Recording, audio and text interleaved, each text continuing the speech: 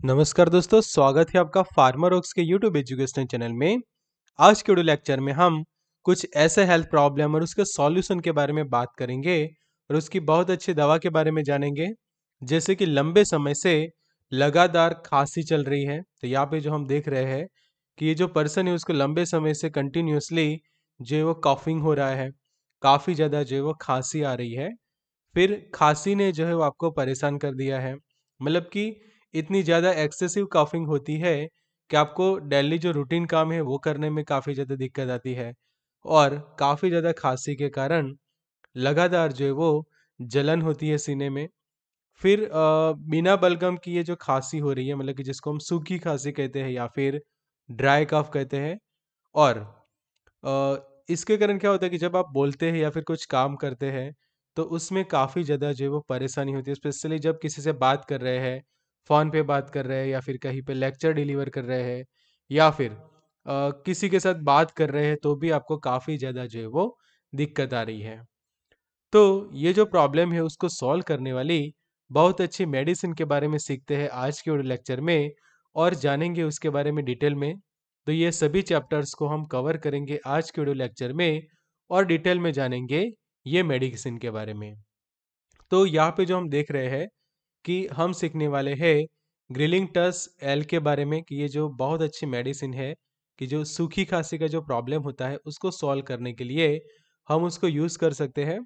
तो उसका हम क्लास देखें तो ऐसे क्लास के मेडिकेशन की जिसको हम एंटीटसिव मेडिकेशंस कहते हैं। एंटीटसिव यानी कि ऐसी दवाइयाँ कि जो कॉफ सप्रेसेंट्स के तौर पे काम करती है कि जब किसी को कॉफिंग होती है, काफ़ी ज़्यादा खांसी आ रही है तो उसको कम करने के लिए उसको रिड्यूस करने के लिए और उसको ठीक करने के लिए ये मेडिसिन जो है वो यूज़ की जाती है। तो ब्रांड नेम उसका हम देखें तो वो है ग्रिलिंग टस है और उसके अंदर जो डोजेस फॉर्म है वो सस्पेंशन टाइप का डोजेस फॉर्म है और स्पेशली ड्राई कफ के इलाज में इसको हम यूज़ करते तो यहाँ पे मैं थोड़ा और आपको बेसिक समझा देता हूँ। तो एंटी टसिव जो वर्ड है उसका मतलब हम अच्छे से समझते हैं। टसिव मतलब कि कॉफिंग की जो प्रोसेस जो खांसी आती है, उसको हम टसिव कहते हैं और एंटी मतलब कि उसको रोकने वाली दवाई। तो ग्रिलिंग टस के ब्रांड नेम में भी आप यहाँ पे देखो तो टस ऐसा एक प्रोनाउंसिएशन होती है। तो ये जो मेडिकेशन स्पेशली खांसी को रोकने के लिए यूज़ की जाती है, उसको ठीक करने के लिए जो वो यूज़ की जाती है। उसके सॉल्ट कंपोजिशन के बारे में अच्छे से समझते हैं तो लिवोक्लोपेरास्टीन जो है उसके अंदर प्रेजेंट है और सिरप बेस में उसको बनाया गया है। फिर कलर जो हम देखें तो sunset yellow, F C F, I H colour जो है वो उसके अंदर ऐड किया गया है। और फ्लेवर की हम बात करें तो मैंगो फ्लेवर के अंदर ये जो है वो कंटेंट अवेलेबल है। फिर मैन्युफैक्चर की हम बात करें तो प्रिसाइज बायोफार्म पायराइट लिमिटेड उसके मैन्युफैक्चर है कि जो रजिस्टर्ड ट्रेडमार्क है लेबोरेटरीज ग्रीफिन प्राइवेट लिमिटेड का। तो इनकी हेड ऑफ़िस की हम बात करें तो वो मुंबई में है और Laboratories of Griffin Private Limited का जो ऑफ़िस है वो है कोलकाता में। तो यहाँ पे मैं वीडियो के बीच में आपको बताना चाहूँगा कि ऐसे ही आपको अच्छा लगता है बहुत सारी बीमारियों के बारे में सीखना, उनके उपचार के बारे में सीखना, तब आप हमारी बुक को परचेस कर सकते हैं डिसीज एंड ट्रीटमेंट, कि जिसके अंदर बहुत सारी दवाइयों के बारे में सीखने को मिलेगा, बीमारियों के बारे में सीखने को मिलेगा, वो भी काफ़ी अफोर्डेबल प्राइस में आपको ये बुक जो है वो आप ले सकते हैं। तो ये बुक को परचेज करने के लिए आप हमें ये वाले नंबर पे व्हाट्सएप कर सकते हैं। तो आगे जानते हैं इसके यूज़ के बारे में। तो स्पेशल जो ड्राई कफ और उसके रिलेटेड जो सिम्टम्स बनते हैं, उसको ठीक करने के लिए ये मेडिकेशन को यूज़ किया जाता है। अब लेवल अच्छे से समझ लेते हैं तो ये सस्पेंशन के फॉर्म में अवेलेबल है। सौ एम की बॉटल में आपको ये मिल जाता है। यहाँ पे उसका सॉल्ट कंपोजिशन लिखा है।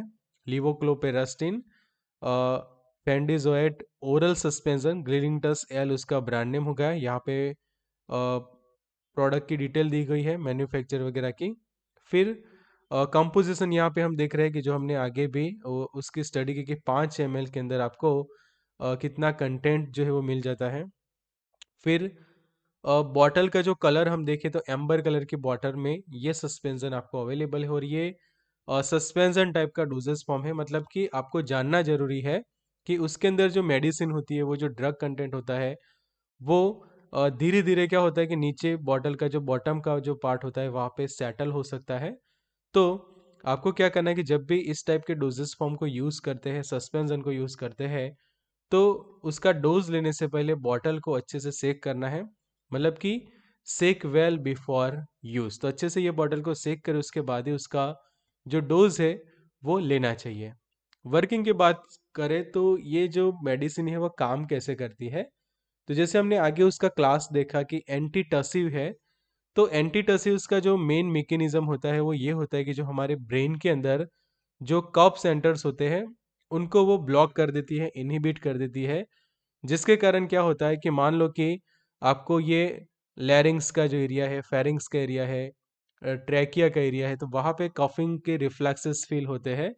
तो वो रिफ्लेक्सेस जो हमारे ब्रेन तक पहुँचते हैं और ब्रेन को पता चलता है कि कफिंग की जो कंडीशन प्रोड्यूस हो रही है तो वो ब्रेन को पता ही नहीं चलता। कफ के सेंटर ही ब्लॉक हो जाते हैं, जिसके कारण ये मेडिकेशन लेने के बाद जो कफिंग के जो रिफ्लेक्सेस प्रोड्यूस होते हैं कफिंग की जो प्रोसेस तैयार होती है मतलब कि आपको खांसी आती है, वो धीरे धीरे जो है वो बंद हो जाती है। तो स्पेशली सप्रेस कर देता है ब्रेन के अंदर रहे, कफ सेंटर को और साथों साथ मान लो कि जो सेंसरी न्यूरॉन प्रेजेंट है आपके ट्रैक ट्रैकिया, फेरिंग्स या फिर लैरिंग्स के आसपास, उनको भी ब्लॉक कर देती है कि जिससे पूरा एक पाथवे ब्लॉक हो जाता है और खांसी का जो प्रॉब्लम है, वो ये मेडिकेशन को लेने के बाद सॉल्व हो जाता है। अब सिंगल मैक्सिमम डोज हम देखें तो एक बार में कितना डोज आप ले सकते हैं तो मैक्सिमम कोई पर्सन पाँच एम जितना डोज एक बार में ले सकता है, इससे ज़्यादा डोज कभी भी ना लें बिकॉज़ कुछ ऐसे साइड इफ़ेक्ट्स हो सकती है, जो हम वीडियो के अंदर आगे डिस्कस करते हैं। फिर डोज कैसे लेना है? ओरल ही लेना है उसको और मैक्सिमम दिन में तीन बार जो है, वो ये डोज कोई भी पर्सन जो है, वो ले सकता है। पर ये हम एडल्ट डोज की बात कर रहे हैं। बच्चों में अगर आपको ये यूज़ करना है तो जो बच्चों के डॉक्टर्स होते हैं, पीडियाट्रिक डॉक्टर्स होते हैं, उनकी एक बार ज़रूर से एडवाइस ले उसके बाद ही बच्चों को ये मेडिकेशन देनी होती है। और सस्पेंसन है तो एग्जैक्ट डोज ही लेना है, कभी भी हाई डोज में यूज़ ना करें। अगर हाई डोज में एक्सीडेंटली ले लिया है और कुछ ऐसे सीरियस साइड इफ़ेक्ट हो रही है तो नज़दीकी हॉस्पिटल में जाके आपको तुरंत डॉक्टर से कंसल्ट करना चाहिए और उसके रिलेटेड तुरंत ही उपचार कराना ज़रूरी बनता है। तो इसीलिए खास ध्यान ये रखना है कि जब ये पर्सन कोई मेडिकेशन लेता है ये तो हाई डोज में कभी भी यूज़ ना करें, जो हमने अभी डोज डिस्कस किया, उतना ही डोज जो है वो लेना होता है। प्राइस की हम बात करें तो जब ये आप उसका बॉटल परचेस करते हैं हंड्रेड एम का तो वो वन फोर्टी टू रुपीज़ में पड़ता है, कि जो उसकी लेटेस्ट प्राइस है दिसंबर 2023 के, अकॉर्डिंग टू। तो यहाँ पे मैं आपको फिर से एक रिमाइंडर देना चाहूँगा हमारी बुक के बारे में। तो ये बुक को आप ज़रूर से परचेस कर सकते हैं, बुक को ऑर्डर करने के लिए आप दिए गए नंबर पे व्हाट्सएप कर सकते हैं। अब उसके कुछ साइड इफ़ेक्ट समझ लीजिए। तो अगर आप नॉर्मल डोज में भी लेते हैं तो भी आपको ड्राइनेस जैसा फील होता है आपके माउथ के अंदर। तो मान लो कि कोई एक्सेसिव ले लेता है तो काफ़ी ज़्यादा ड्राइनेस फील हो सकती है आपके माउथ के अंदर। कई बार कुछ लोगों को नमनेस जैसा फील होता है मतलब कि कोई सेंसेशंस ना हो डिजीनेस जैसा फील कर सकते हैं। सिर दर्द काफ़ी ज़्यादा हो सकता है पाल्पिटेशंस मतलब कि जो हार्ट बीट है वो इरेगुलर हो सकते हैं, दिल की धड़कन या अनियमित जैसा फील करना, फेंटनेस यानी कि चक्कर आना, बेहोश हो जाना, गिर जाना, भूख कम हो जाना, नींद आ सकती है आपको ये लेने के बाद फटिक यानी कि कमज़ोरी और स्किन के ऊपर रैसेस बन सकते हैं। तो अगर मान लो कि कोई काफ़ी ज़्यादा ये ले लेता है तो आपको लंबे समय तक नींद आती रहेगी और अगर आपको ड्राइव करना है, कोई मशीन वगैरह हैंडल करना है या फिर कुछ भी ऐसे काम है कि जो आपको केयरफुली परफॉर्म करने हैं, वरना कुछ एक्सीडेंटली कुछ प्रॉब्लम हो सकती है। तो दिक्कत आ सकती है, फिर भूख कम हो सकती है इसको लेने के बाद। तो जो एग्जैक्ट उसका जो डोज है, वो ही लेना चाहिए, अगर ज़्यादा डोज ले लेते हैं तो ये साइड इफ़ेक्ट्स और ज़्यादा सीवियर हो सकती है आपकी बॉडी के अंदर। वार्निंग्स हम देखिए तो अगर डिप्रेशन का कोई पेशेंट है हाइपरटेंशन मतलब कि जिनका ब्लड प्रेशर ज़्यादा रहता है हार्ट रिलेटेड पेशेंट है, सीजर्स यानी कि मिर्गी के दौरे पड़ते हैं जिनको, शुगर के जो पेशेंट है, डायबिटीज़ के हाइपर और बच्चों जो के अंदर ये जो सस्पेंशन है, उसको यूज़ नहीं करते। फिर ध्यान ये रखना है कि अगर आपको ड्राइविंग करना है, कोई ऐसे मशीन्स को हैंडल करना है, कोई मशीनरीज को आप ऑपरेट कर रहे हैं तो ये मेडिकेशन को लेने से पहले आप ज़रूर से आपके डॉक्टर या फिर फार्मासिस्ट को कंसल्ट करना ज़रूरी है और उनकी एडवाइस के बाद ही ये मेडिकेशन को लें। फिर प्रेगनेंसी कैटेगरी की हम बात करें तो इसकी प्रेगनेंसी कैटेगरी सी है।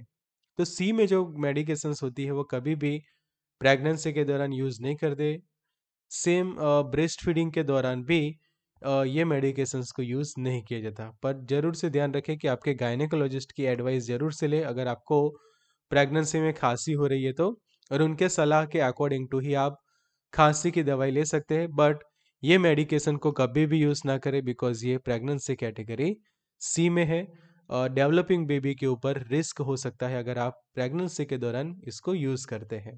ड्रग ड्रग इंटरेक्शन हम देखें तो यहाँ पे जो लिस्टेड जो मेडिकेशन है, उसके साथ ये ग्रिलिंगटस एल जो है वो ड्रग ड्रग इंटरेक्शंस कर सकता है।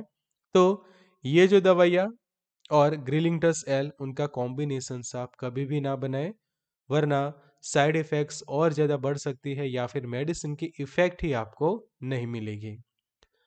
तो अगर आपको मेरा ये वीडियो अच्छा लगा है तो ये वाला वीडियो भी अच्छा लगेगा कि यहाँ पे क्लिक करके आप मेरा ये वीडियो भी देख सकते हैं कि वहाँ पे भी आपको काफ़ी अच्छी नॉलेज मिलेगी। चैनल को सब्सक्राइब करें। Good luck and all the best.